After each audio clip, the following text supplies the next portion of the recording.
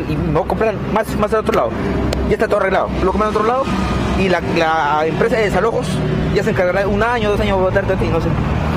Y ya yo a comprar en otro lado y a la m- con todo. Todo a la m- No Yo necesito, yo necesito paz para nuestro hijo. Ya. Neces- necesito paz, ¿ya? Y yo por eso te digo, ya, este, ¿cómo voy a hacer con todas tus amenazas, que me amenazas que me vas a matar y que el bebé no te importa?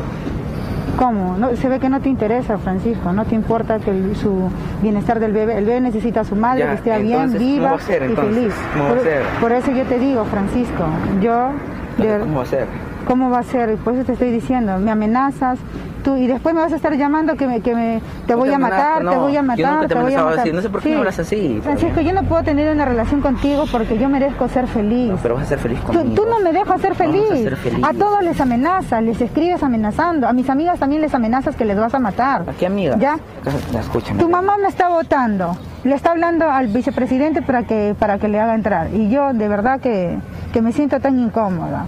¿Ya? Tengo que andar con miedo. De repente ¿Pero por qué le das la oportunidad a otro No me presiones la Ya, ¿y por qué mano, le das la Francisco. a otro hombre? No haga, suéltame, no me ¿Por qué cojas así. oportunidad a otro hombre y a mí no? Francisco, tú no me haces feliz, has sido muy malo conmigo, feliz Francisco. en la cama, en todos lados. Francisco. Vamos a hacer el amor ahorita. ¡Au! Vamos a hacer el amor. Dame un beso. No, Francisco. ¡Au! ¡Suéltame!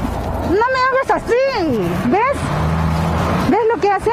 Me prometiste y me juraste a mí. Solo yo lo No le puedes votar al bebé. Si es que tú no estabas con nadie. No, Francisco, pero tú no tú puedes hacerme eso porque tú estás con otras Yo no personas. estoy con no, nadie. Francisco. Yo no estoy con nadie. Yo estoy esperándote a ti hasta Francisco, ahora.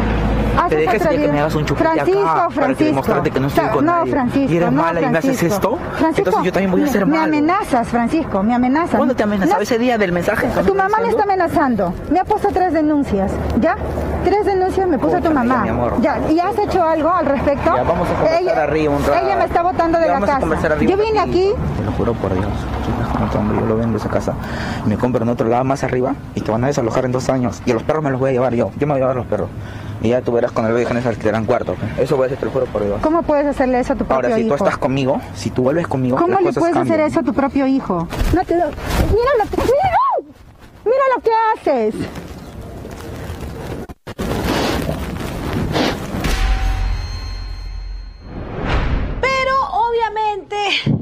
Ustedes ya nos conocen, no nos quedamos con los brazos cruzados. Por eso cuando Rebeca, y así son las cosas, citó a Francisco en un parque del distrito de San Miguel, porque ella además quería que registráramos cómo reaccionaba este cobarde. Este cobarde que aparecía cuando le daba la gana, él la buscaba cuando quería, Siempre la buscaba, siempre la acosaba. Cuando ella le decía que ya quería que por favor, que la, que la deje en paz, que no siguiera acosándola, que solo se preocupara por su hijo. En ese momento nosotros ya teníamos el video de cómo cuatro días antes, pese a que ya habían cinco medidas de protección, igual este salvaje la había golpeado, le había metido un puñete en la cabeza que ustedes lo vieron. ¿Por qué? Porque ella no quería acostarse con él, por eso la golpeaba. Entonces nosotros, ¿qué hicimos? Nos comunicamos con la comisaría de San Miguel. Él fue detenido en ese momento. Pero para la fiscal Nilda Jimena Ticona Cayata, fiscal de la primera Fiscalía Corporativa Penal de Magdalena del Mar, San Miguel y Pueblo Libre, lo que realmente le parecía, creo yo, relevante no era que Francisco haya golpeado cuatro días antes a la madre de su hijo. Es decir, no era relevante que él no cumpliese con las medidas de protección que tenía en su contra, consideradas además con riesgo severo, sino para la fiscal lo relevante, me da vergüenza decirlo, de verdad, me da vergüenza decirlo, lo relevante era que Rebeca haya citado a Francisco. Eso a ella le parecía más importante. Yo les voy a explicar en un momento por qué les estoy diciendo esto. Pero antes quiero que ustedes vean estas imágenes cuando lo tuvimos cara a cara y este cobarde terminó llamando a su mami, a su mami, para que lo ayudara. Mire lo que pasó.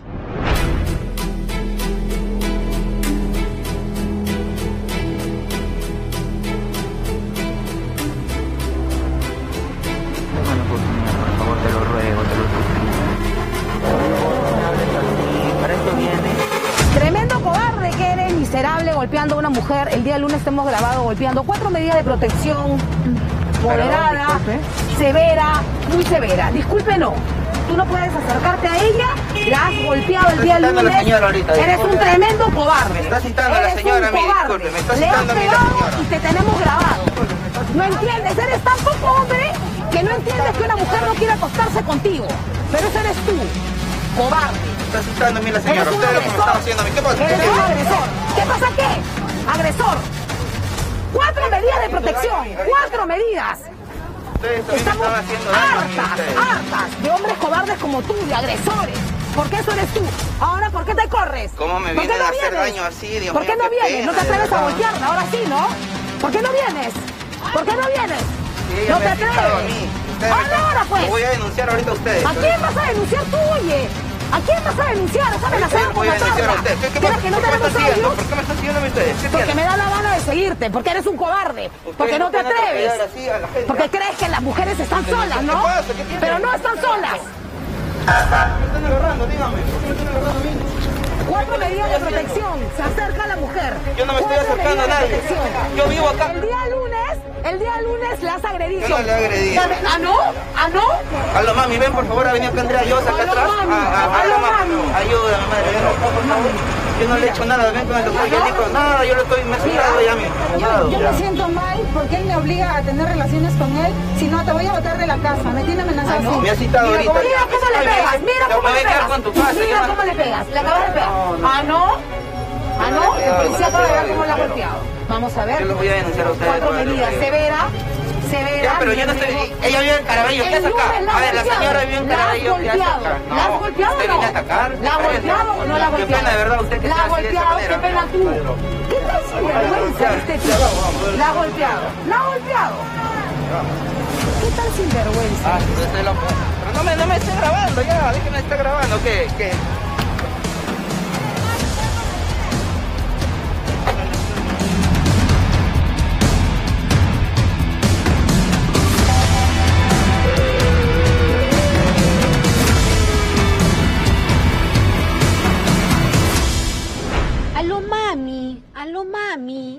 Cobarde. En ese momento la policía efectivamente, como ustedes han visto, eh, se lo llevó, se lo llevó a la comisaría. Yo quiero que el doctor Roberto Miranda les explique qué fue lo que pasó, porque a mí hasta vergüenza me da contárselos. De verdad, siento vergüenza, porque por eso hay tanto feminicidio en nuestro país. El evento, como lo hemos visto, se produjo en la jurisdicción de San Miguel. Actualmente hay una Fiscalía Penal San Miguel Magdalena Pueblo Libre.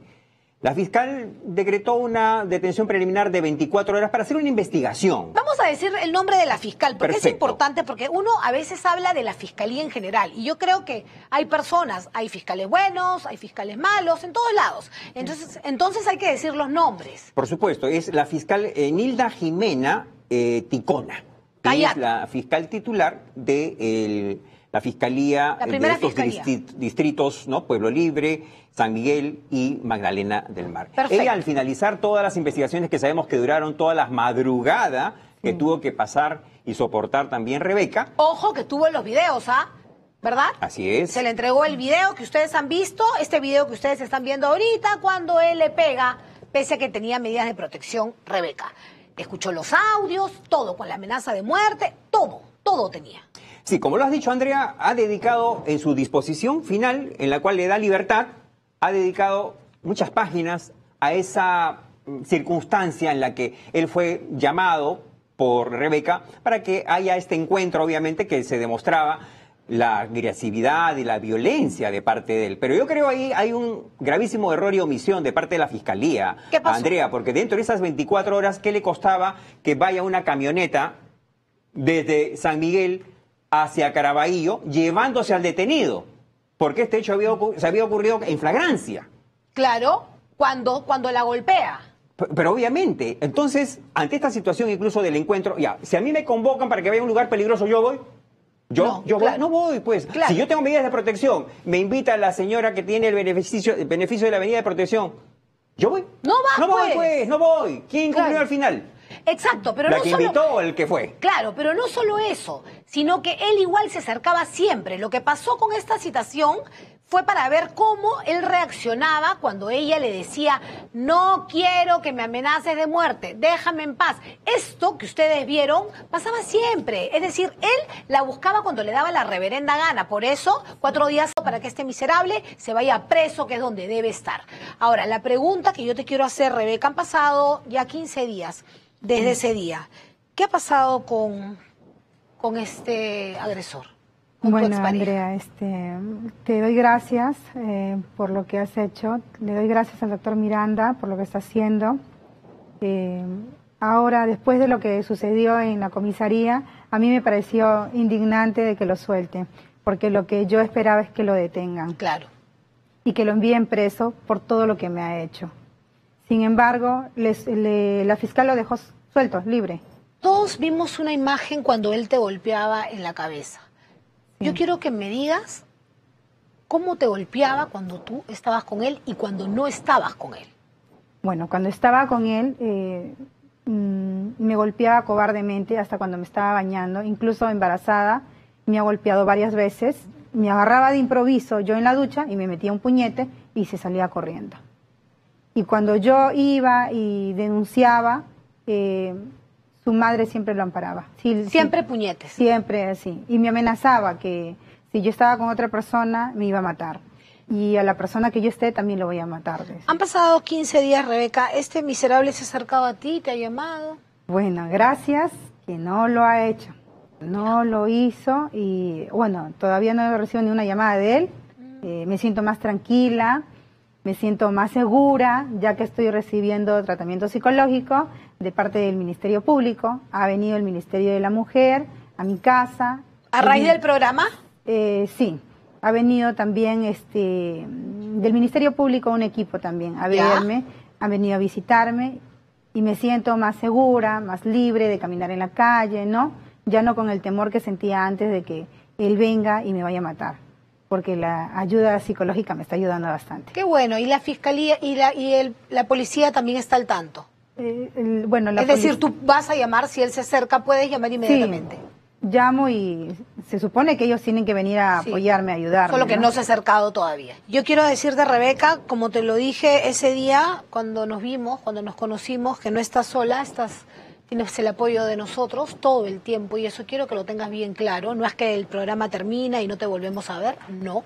Esto va hasta el final. Y el eso fin- es lo que me, me alegra y lo que me hace sentir segura es que ustedes me van a ayudar hasta el final. Por supuesto Y que no que sí. estoy sola porque ustedes van a estar ahí hasta que se cumpla lo que se tiene que cumplir. Y lo que se tiene que cumplir es que se vaya preso. Francisco. Sí. Que esto no se puede quedar así. Porque no se puede quedar así todas las cosas que me ha hecho. Por supuesto que no, Rebeca. Y bueno, no, la Fiscalía y el Ministerio Público están al tanto. Le agradezco bastante al fiscal también, este Lucio Astete, que también, eh, para qué se ha interesado en mi caso bastante. Qué bueno, qué bueno. Y es lo que están deben, apoyando bastante. Y es lo que deben hacer las autoridades, no necesariamente por el hecho de que estés aquí en la televisión, sino es lo que ellos tienen que hacer. Ellos tienen que actuar correctamente, porque a veces, y se los digo a ustedes, da la sensación, doctor Roberto Miranda, que terminan más bien este, protegiendo al agresor y no protegiendo a la víctima. Es la sensación que muchas veces sentimos nosotros y que ustedes también sienten tanta benevolencia, tanta benevolencia con un miserable que golpea a una mujer de esa manera tan salvaje y que lo hace muchas veces porque es como si ellos sintieran que no va a pasar nada. Pero no, algo tiene que pasar. Y como siempre les digo, nosotros creemos que la justicia existe, pero que hay que buscarla y para eso está también con nosotros el doctor Roberto Miranda, que va a terminar esta historia. Por supuesto que sí. Y va a pasar, Andrea, de todas maneras. Muchísimas gracias, como siempre, doctor Roberto Miranda. Gracias de verdad, Rebeca, por la confianza. Cualquier cosa, estamos aquí y vamos a seguir con tu caso hasta el final, con tu Gracias, historia. doctor Miranda, gracias, Andrea. Estoy tan feliz porque me han escrito en las redes sociales. ¿Qué te han que- dicho? Que me van a prestar ayuda de varias instituciones. Bueno. Entonces estoy muy feliz por eso. Por eso me siento también fuerte. Gracias, Rebeca. Yo estoy feliz porque confías en nosotros y porque te veo hoy mejor. Sí, y también lo hago todo esto por mis hijos, porque mis hijos merecen crecer felices, en tranquilidad, en paz, y yo necesito verme bien también, Así es. fortalecida. Y Por tus hijos se van a sentir muy orgullosos, Sí. muy orgullosos de lo de la mamá que tienen, una mamá valiente. Gracias por estar aquí, Rebeca. Gracias, Andrea. Y ahora sí me tengo que despedir. Me tengo que despedir. Gracias, Gracias, doctor doctor Roberto Miranda. Eh, ya saben, no se queden calladas, denuncien, denuncien y hay que pelear hasta el final.